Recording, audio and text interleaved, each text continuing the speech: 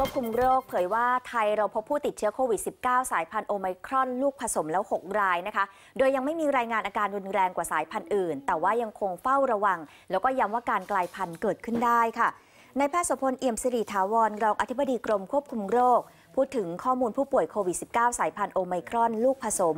XBB.1.16 ในไทย 6 รายค่ะ ว่าเดินทางมาจากต่างประเทศ อยู่ในวัยทำงานอาการไม่รุนแรง ส่วนอาการสำคัญของสายพันธุ์ XBB.1.16 ที่ประเทศอินเดีย รายงานว่ามีเยื่อบุตาอักเสบนะคะยังไม่มีรายงานในผู้ป่วยที่พบในไทยว่ามีอาการนี้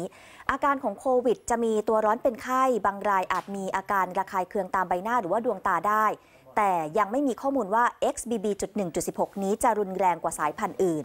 ส่วนการกลายพันธุ์เกิดขึ้นได้ค่ะ ทางกรมควบคุมโรคติดตามสถานการณ์ และขอให้ประชาชนอย่าตื่นตระหนก ย้ำว่าการฉีดวัคซีนยังจำเป็น ถ้าเกิดว่าฉีดเข็มสุดท้ายนานกว่า 4 เดือนแล้ว ให้มารับวัคซีนเพิ่ม ส่วนการติดเชื้อเพิ่มขึ้นหลังสงกรานเชื่อว่าจะไม่กระทบกับวิถีชีวิตของประชาชนนะคะ ขอให้สังเกตอาการตนเอง 7 วันหลังจากนี้ หลีกเลี่ยงการใกล้ชิดผู้สูงอายุ และผู้ป่วยโรคเรื้อรัง ส่วนการตรวจ ATK ให้ตรวจเฉพาะตอนที่มีอาการป่วยน่าจะดีที่สุดนะคะ